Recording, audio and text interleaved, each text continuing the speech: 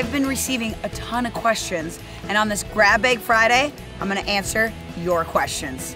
Here it is How do you learn to say no? This is so huge and so important. This goes back to people pleasing.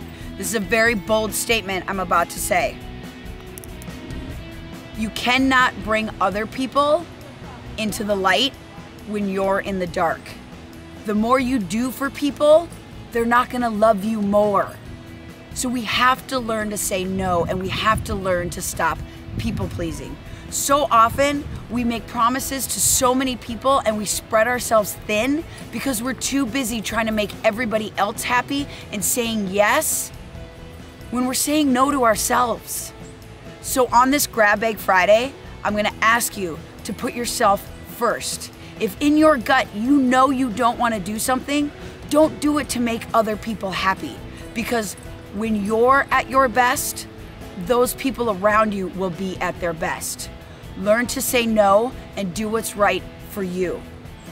Choose you. You matter and you've got this. Happy Friday.